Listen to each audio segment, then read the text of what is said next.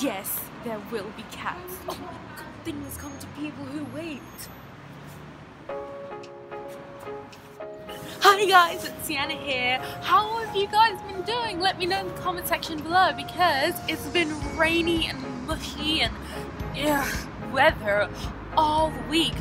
But as you can see, I found some beautiful weather. The sun is right there, so I, I hope you don't get blinded by my beautiful sun. I'm going to be talking about my cars today, and for those who have not watched my launch video, I linked it in the description down below. Look down. Do you see it? Look down. Come here, look down. Look, it's me. So I'll wait for you. So yes, let's let's get a clock in here, see how long it takes for you to watch it. So, what is a hurricane? A hurricane is a tropical cyclone of 74 miles per hour or 119 kilometers per hour and can exceed those wind speeds. In fact, they are accompanied by rain, thunder, and lightning, and in a nutshell, it's the worst thunderstorm that you can ever encounter.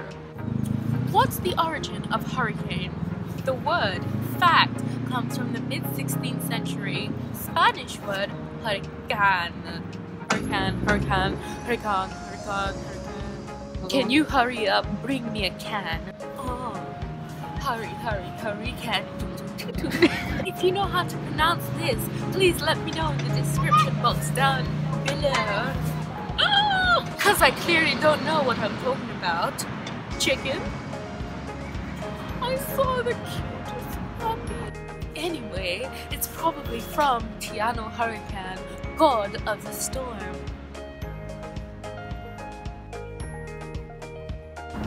Hey, I'm the goddess of stealing your thunder.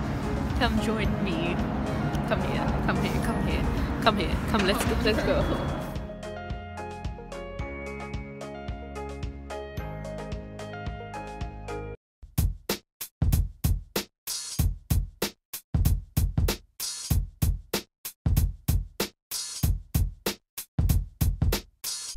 Category 1 Very strong whales. Category 1 will produce very dangerous winds and some damage. 74 mile per hour winds to 95 mile per hour winds. Category 2 You used to call me on my cell phone.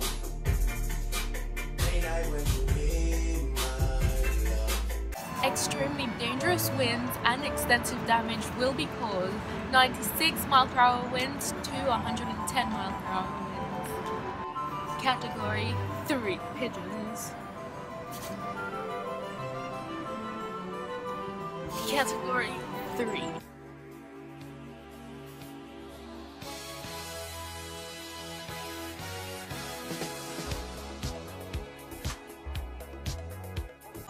Devastating damage will occur with 111 mile per hour winds to 129 mile per hour winds. Look, pigeons behind you. Want to see? Category 4.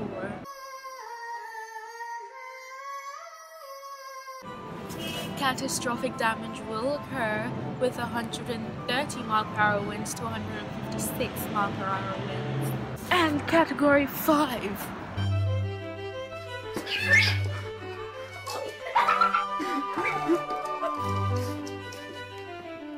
With this hurricane, it brings extensive catastrophic damage with 157 mile per hour winds or exceeding.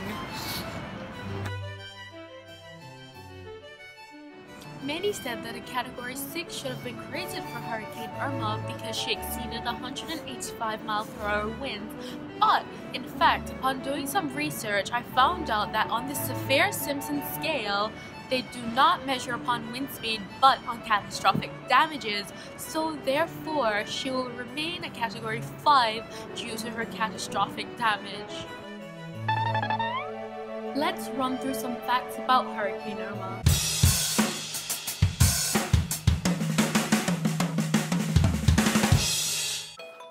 It developed on the 30th of August 2017 near the Cape Verde Islands. Its storm force winds span 70,000 square miles, which is larger than Florida. More than 40 million people were cast within the five-day forecast cone. That's more than Peru, Malaysia, Canada. On the 6th of September 2017, Hurricane Irma exceeded its peak. On the 6th of September 2017, Hurricane Irma reached its reached. On September 6, 2017, Hurricane Irma reached its peak intensity of 185 mile per hour winds or 285 kilometer per hour winds. It caused $3.5 billion in collateral damages alone in the BVI. The BVI was left without power to the majority of the islands for many months. Can you imagine that?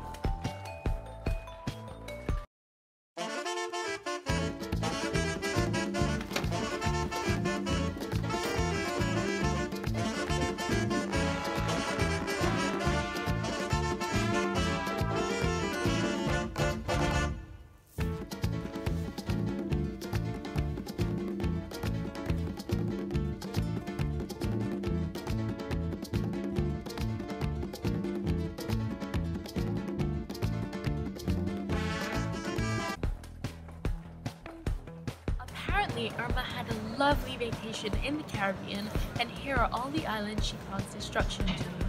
Barbuda, BVI, Turks and Caicos,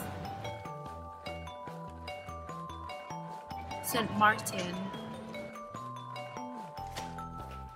Cuba.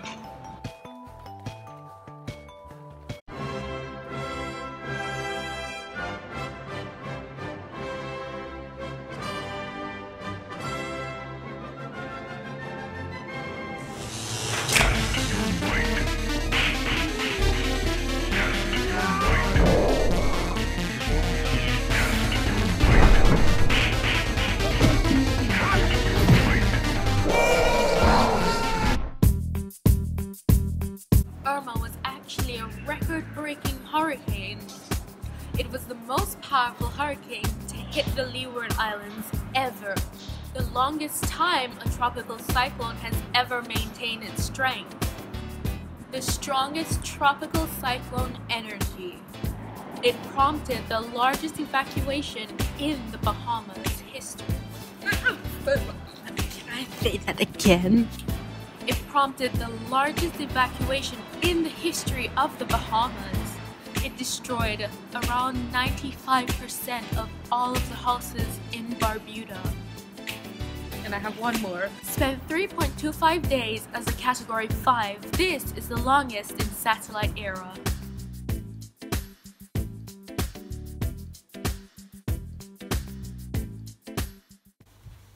Okay guys, so as you can see I'm home now and I hope you guys enjoyed that little walkthrough we had in London. But as you know, Hurricane Irma completely battered the BVI and here's some footage immediately after the damage.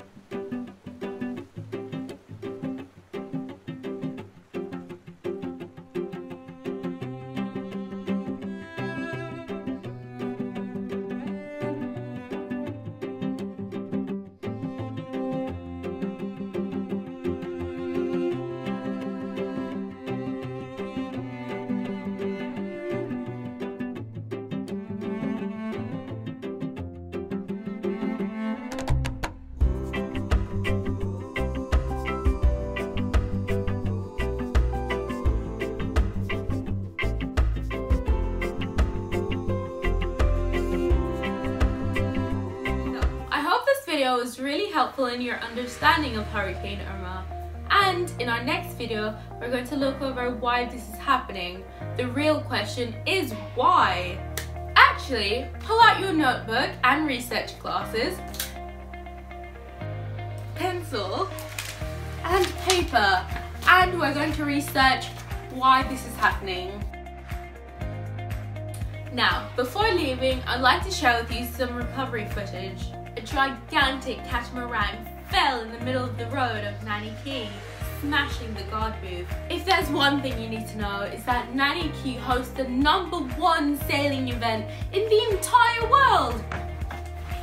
Yes, the entire world. Did you hear me? The entire world? sailing event in the entire world. Yes, the entire world! Anyway, back to the catamaran. Around a few weeks ago, the Meridian Construction Company removed this gigantic boat. I'll sign out now and I'll play the video after. So, my lovely people, this is Siannah Bee signing out. Don't forget to like and subscribe and share this video with everyone that you know. We want this video to be shared. Do you understand me? And don't forget, we are BVI strong. Bye!